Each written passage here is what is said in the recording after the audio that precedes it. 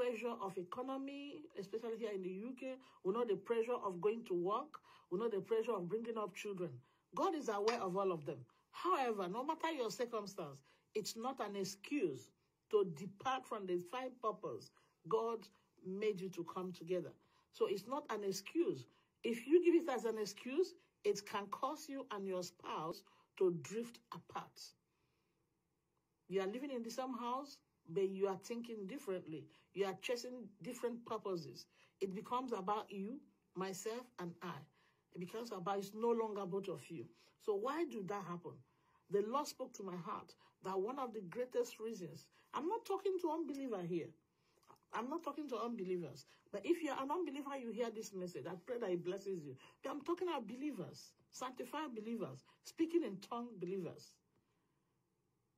You know, people can be speaking in tongue and they're out of tune with the Holy Ghost. Because right now it has become part of them. You have you notice some people wants to open their mouth, blah, blah, blah, blah, blah, blah, blah, blah, speaking as if it's a competition. It is part of their life. They have mastered it. But there's no power behind the, the tongue they are speaking. Such people depart from the Holy Ghost. There are, there are some people who get so easily offended because there's no power of the Holy Ghost again. They get easily, they can fight, they can quarrel, they can keep malice with their spouses for a long time. Meanwhile, they are speaking in tongue in the house. You know, so at times you see some men decide, or even a woman say, look, if this is it, I'm not going to church with him again. How can he be speaking in tongue